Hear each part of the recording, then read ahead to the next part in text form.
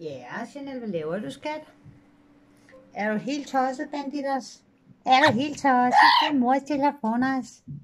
Det er hammer, hammer fedt. Mor kysser dig om lidt. Ja, vinden, den er god. Hvor skal du hen, du? Hey, du hænger der med hovedet ned. Ja, ja, ja, ja, ja. Vores Kenzo, han har været billig til salg i dag. Ikke også, Kenzo, Enzo? Kenzo, du har været billig til salg i dag. Hverken far eller var hjemme, og han kunne ikke komme ud og flyve.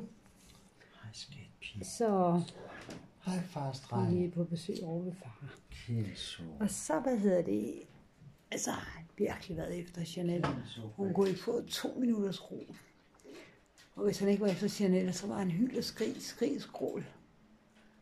Men han kan ikke komme ud og flyve, fordi der er fuld influenza, og hans far var hjemme, så helvede var løs i Karl Saxon gade for Genso. Så der var han godt nok billig til salg. Du bider din far. Du, du bed os Heidi i dag, Chanel.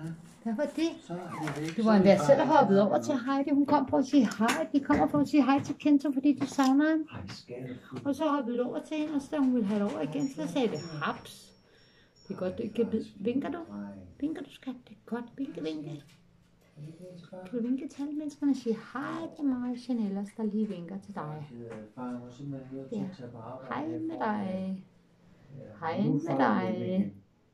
Nu far hjemme hos dig. Du hammer ham og sød, må kysse dig om lidt.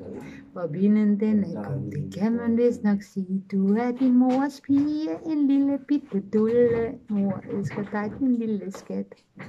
Du hammer ham og sød. Det her jeg vist nok sige. Du er mors lille pige. Det kan man vist godt sige. Du er mors lille dulle, en rigtig rappenulle.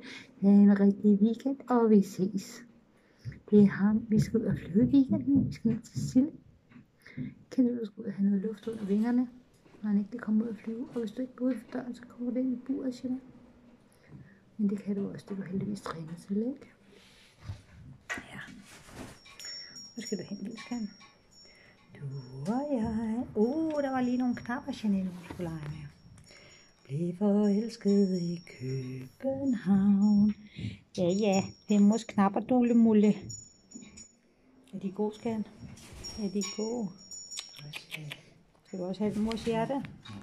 Og fået nyt smykke, og Janelle synes altså, det er så interessant. Se Chanel. Se her, skal. Nu kommer hvor det mor har her. Bare det. Ja, det er mors smykker, ikke også? Fars dreng.